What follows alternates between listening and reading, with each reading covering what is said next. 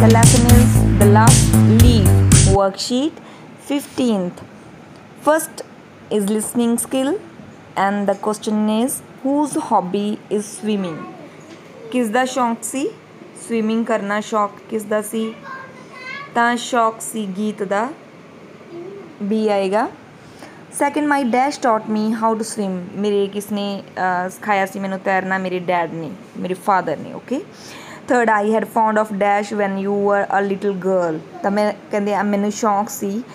ਕਾਹਦਾ ਸ਼ੌਂਕ ਸੀ? ਮੈਨੂੰ ਸਵਿਮਿੰਗ ਦਾ। ਬੀ ਆਏਗਾ ਜਦੋਂ ਮੈਂ ਛੋਟੀ ਜੀ ਬੱਚੀ ਸੀ। ਚੌਥਾ ਹੈ I usually go to the swimming pool dash a week ਮੈਂ ਇੱਕ ਹਫ਼ਤੇ ਵਿੱਚ ਆਮ ਤੌਰ ਤੇ ਸਵਿਮਿੰਗ ਪੂਲ ਤੇ ਕਿੰਨੇ ਵਾਰ ਜਾਂਦੀ ਹਾਂ? ਟਵਾਈਸ ਦੋ ਵਾਰ।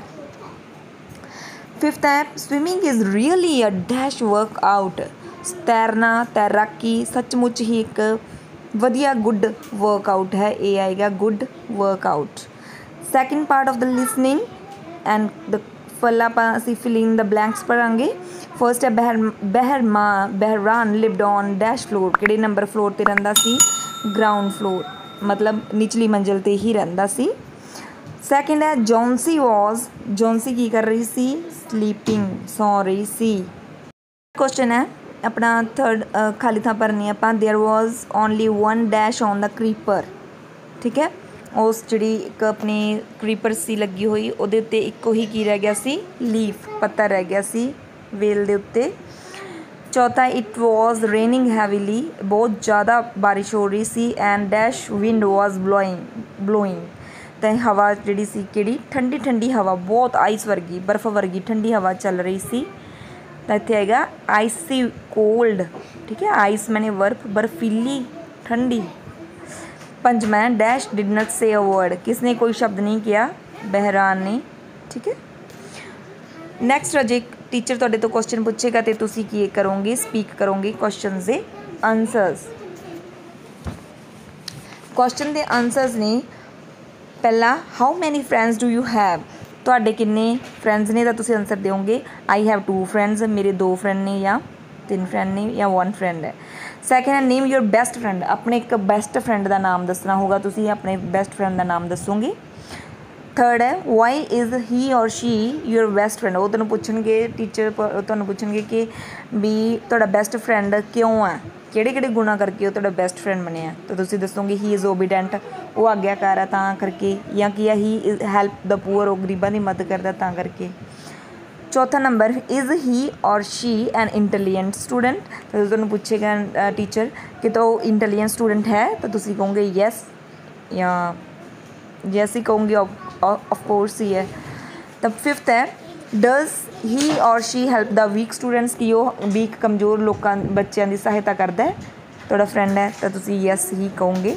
Look at the poster given below and answer the questions that follow ਹੁਣ ਅਸੀਂ ਪੋਸਟਰ ਦਿੱਤਾ ਹੋਇਆ, ਇਹਦੇ ਵੱਲ ਦੇਖਾਂਗੇ ਅਤੇ ਇਹਨਾਂ ਕੁਐਸਚਨਸ ਦੇ ਆਨਸਰ ਦੇਵਾਂਗੇ। ਦੇਖੋ ਪੋਸਟਰ ਕਾਦੇ ਬਾਰੇ ਹੈ? ਸਰਵ ਸਿੱਖਿਆ ਅਭਿਆਨ। First is Sarva Shiksha Abhiyan SSC is a historic dash education mission ਤਾਂ ਕਿਹੜਾ ਮਿਸ਼ਨ ਹੈ ਇਹ ਸਾਡਾ? ਨੈਸ਼ਨਲ ਸੈਕੰਡ ਹੈ SSC aims to provide qualify education to all children of the age group of ਕਿੰਨੇ ਤੋਂ ਕਿੰਨੇ ਸਾਲ ਦੇ ਬੱਚਿਆਂ ਨੂੰ ਐਜੂਕੇਸ਼ਨ ਦੇਣੀ ਇਹਨਾਂ ਨੇ? 6 ਟੂ 14 6 ਤੋਂ 14 ਸਾਲ ਦੇ ਬੱਚਿਆਂ ਨੂੰ। What does the program aim to bridge program ਦੇ ਵਿੱਚ ਕੀ ਕੀ ਇਹਨਾਂ ਦਾ ਮੇਨ ਚੀਜ਼ ਹੈ।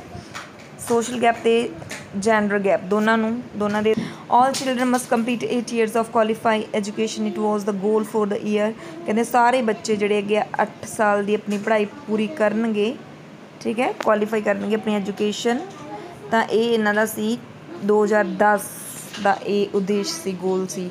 SSC insures that each and every child is in the school ਇਹਨਾਂ ਨੇ ਇਨਸ਼ੋਰ ਕੀਤਾ ਯੈਸ ਟਰੂ ਜਿਵੇਂ ਕਿ ਆਪਣੀ ਲਾਸਟ ਲਾਈਨ ਦੇ ਵਿੱਚ ਉੱਤੇ ਵੱਡੇ ਅੱਖਰਾਂ 'ਚ ਲਿਖਿਆ ਹੋਇਆ ਨਾ ਲੈਟਸ ਜੁਆਇਨ ਹੈਂਡਸ ਉਹਦੇ ਵਿੱਚ ਦਿੱਤਾ ਹੋਇਆ ਤਾਂ ਟਰੂ ਹੈ 6 which word in the given visual means all inclusive ਸਾਰੇ ਕੌਣ ਆ ਮਤਲਬ ਯੂਨੀਵਰਸਲ ਸੀ ਬੀ ਆਏਗਾ now we have to write the sentences on my hobby ਆਪਾਂ ਆਪਣੀ ਸ਼ੌਕ ਬਾਰੇ ਕੁਝ ਵਾਕ ਲਿਖਣੇ ਨੇ ਜਿਵੇਂ ਕਿ ਪਹਿਲਾਂ ਉਹਨਾਂ ਨੇ ਹਿੰਟ ਦਿੱਤਾ ਹੋਇਆ ਤੈਨੂੰ ਪਲੇਜ਼ਰ ਗਿਵਿੰਗ ਤਾਂ ਇਟ ਇਜ਼ ਪਲੇਜ਼ਰ ਗਿਵਿੰਗ ਜਿਹੜੀ ਸਾਨੂੰ ਖੁਸ਼ੀ ਦਿੰਦੀ ਹੈ ਉਹ ਸਾਡਾ ਸ਼ੌਕ ਹੁੰਦਾ ਠੀਕ ਹੈ there are different hobbies uh ਇੱਥੇ ਬਹੁਤ ਸਾਰੀਆਂ ਹੌਬੀਜ਼ ਨੇ, ਜਿਵੇਂ ਕਿ ਪੇਂਟਿੰਗ ਹੋ ਗਈ ਸਿੰਗਿੰਗ ਹੋ ਗਈ dancing my hobby is painting ਠੀਕ ਹੈ? It is my favourite pastime time pass ਤਾਂ ਇਟ ਇਨਕਰੇਜਸ ਕ੍ਰੀਏਟੀਵਿਟੀ ਜਿਹੜੀ ਹੌਬੀ ਹੈ, ਉਹ ਆਪਣੀ ਕ੍ਰੀਏਟੀਵਿਟੀ ਨੂੰ ਇਨਕਰੇਜ ਕਰਦੀ ਹੈ। ਆਪਣੇ ਅੰਦਰ ਨਵੀਂ ਨਵੀਆਂ ਕ੍ਰੀਏਟੀਵਿਟੀ ਲੈ ਕੇ ਆਉਂਦੀ ਹੈ ਕ੍ਰੀਏਸ਼ਨਸ ਪ੍ਰਤਿਭਾਵਾਂ।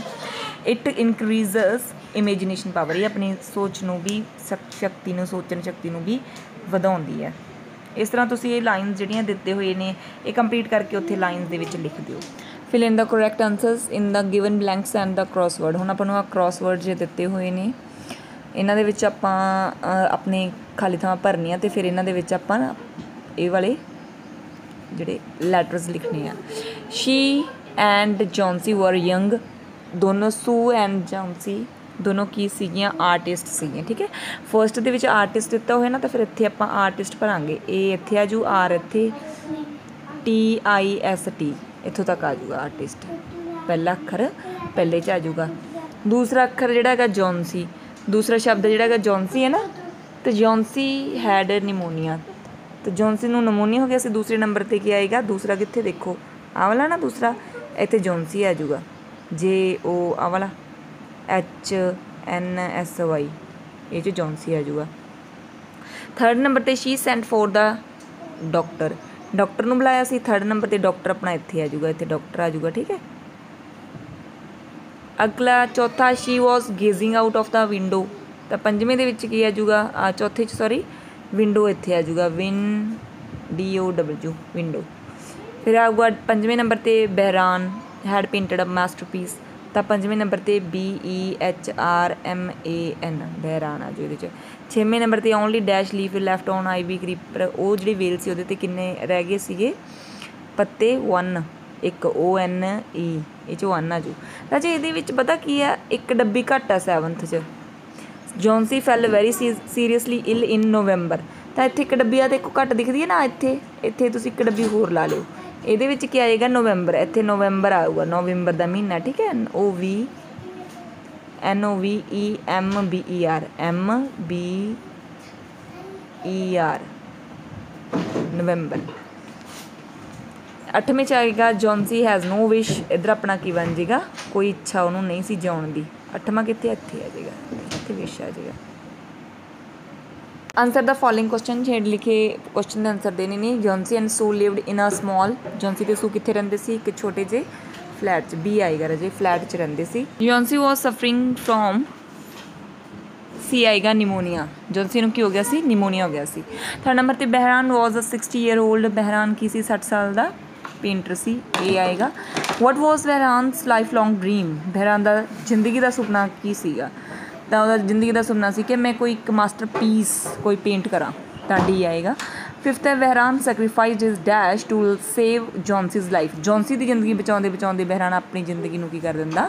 ਲੇਖੇ ਲਾ ਦਿੰਦਾ, ਬਲੀਦਾਨ ਦੇ ਦਿੰਦਾ ਜ਼ਿੰਦਗੀ ਦਾ, ਠੀਕ ਹੈ? ਪੰਜਵੇਂ ਦਾ ਬੀ ਆਪਣੀ ਲਾਈਫ ਸਿਕਸਥ ਹੈ, ਛੇਵੇਂ ਨੰਬਰ ਤੇ dash painted on the wall was a the masterpiece of Behrman ਤਾਂ ਬਹਿਰਾਨ ਦਾ ਜਿਹੜਾ ਮਾਸਟਰਪੀਸ ਕੀ ਸੀਗਾ? ਕੰਧ ਤੇ ਉਹ ਉੱਤੇ ਬਣਾਇਆ ਹੋਇਆ ਇੱਕ ਪੇਂਟ ਕੀਤਾ ਹੋਇਆ, ਕੀ ਬਣਾਇਆ ਸੀ ਉਸਨੇ? ਆਈਵੀ ਲੀਫ ਇੱਕ ਪੱਤਾ ਬਣਾਇਆ। ਐਂਡ ਇਸ ਚੈਨਲ ਨੂੰ ਸਬਸਕ੍ਰਾਈਬ ਕਰੋ ਤਾਂ ਜੋ ਤੁਹਾਨੂੰ ਆਉਣ ਵਾਲੀ ਵੀਡੀਓਜ਼ ਦੀ ਜਾਣਕਾਰੀ ਹੋ ਸਕੇ।